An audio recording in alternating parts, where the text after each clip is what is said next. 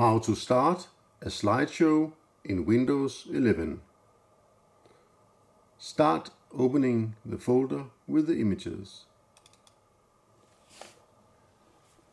Select all the images and videos you want included and press enter. Right click on the image that is shown and choose start slideshow. Your job is done. You have created a slideshow.